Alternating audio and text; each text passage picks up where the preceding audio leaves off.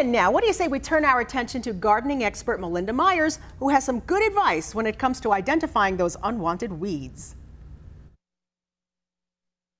Aggressive, invasive, or noxious weeds. These are terms that are often used interchangeably, but knowing the difference can help reduce your workload and improve the environment. Weed usually refers to a plant out of place.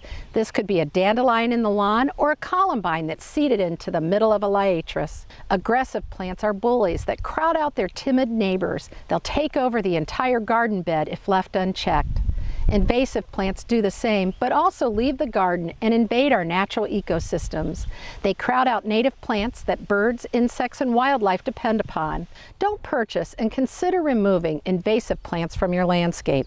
Noxious weeds are plants that have been identified as harmful to people, animals, crops, livestock, and the environment and should be removed.